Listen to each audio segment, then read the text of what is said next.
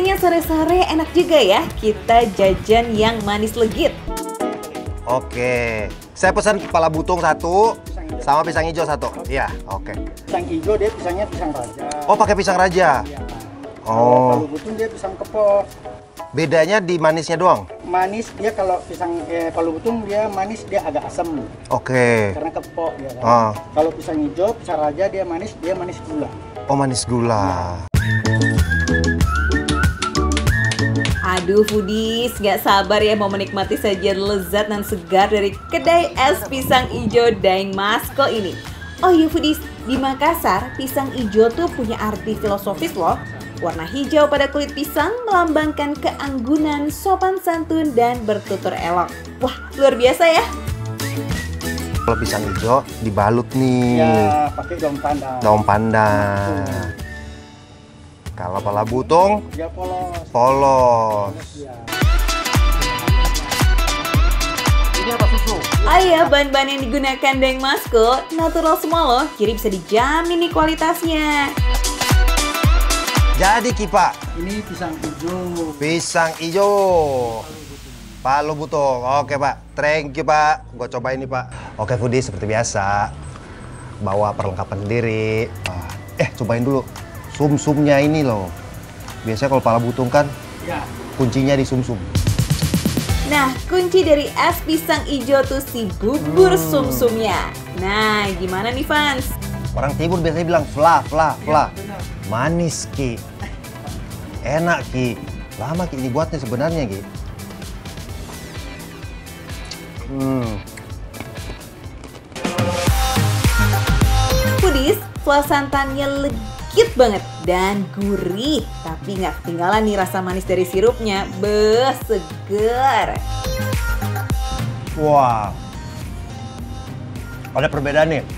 Orang kalau bikin pisang hijau, tepungnya itu bisa jadi keras, bisa jadi yang empuk. Ini yang pilihannya empuk.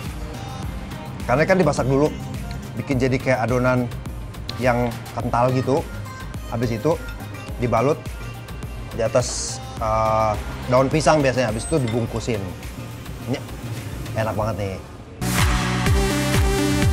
Pisangnya manis, lembut, juga nggak kematangan. Pokoknya pas banget. Makassar ini. Ini makanan asli Makassar ini begini nih. Dahsyat. Ini kalau butung bedanya cuma di pisang kan tadi ya. Jadi pisangnya itu direbus dulu. Agak asam-asam gitu pisangnya. Sekarang campur pakai flanya.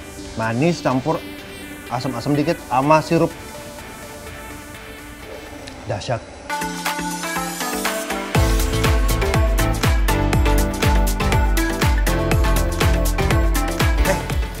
Ada kue cubit. Ini kue apa namanya? Kue ape. Kalau ini kue apa yang bawahnya? Kue pancong. Mas ini apa nih mas? Kue cubit. Siap ya mas? Thank you mas. Seperti biasa sebelum coba, pakai perlengkapan kita dulu. Oke guys. Rasa original. Hmm. Empuk.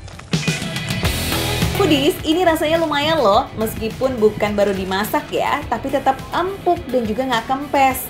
Manisnya pas, tidak berlebihan. Oke lah bang. Salah sepandan.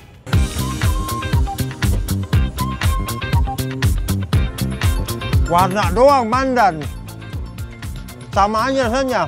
ada ada warna-warna itunya apa rasa dikit-dikit Rasa dikit-dikit. ya ampun, jangan dimarahin dong fans abangnya. Namanya juga usaha, supaya kreatif dong ya warna-warni. Kue apa? Kue ape.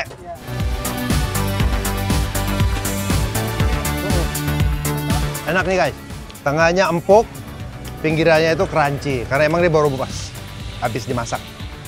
Pakai api kecil, jadi pinggirannya itu keras gitu, jadi nggak yang gosong. Enak kok. Kue poncong ini dikasih apa itu? Gula pasir. Oh, harus pakai gula pasir, kan udah manis. Enggak ini enggak manis tawar. Ya kan? Oh, ini tawar. Iya. Iya dong fans, agar semakin nikmat ditambahkan gula lagi supaya manisnya maksimal kayak kamu. Iya, Memang rasa asli kue pancong ini tuh ya? gurih banget Pudis. Iya deh, coba coba. Iya deh, coba coba geser dulu nih gula pasir ini. Pakai santan juga berarti ya? Oh iya, bisa diatur lah kalau kalian nggak terlalu suka manis, gulanya dikurangin. Lanjut, kita coba kue putri ayu yuk. Jajanan pasar ini juga nggak kalah lezat nih. Rasanya manis gurih dengan taburan kelapa. Oh, ini alternatif nih kayak gini nih bentuknya. Putri Ayu. Kita cobain ya. Ini ada kelapanya nih. Teksturnya kayak kue bolu apa ya? Emang kayak kue bolu, Bu? Oh, cuman dikreasikan aja bentukannya, habis itu dikasih parutan kelapa muda. Ya manisnya manis sedang lah. Harga boleh receh, tapi rasanya nggak recehan. Jangan pindah-pindah channel, ada yang enak-enak nih abis yang satu ini. Tetap dimakan receh.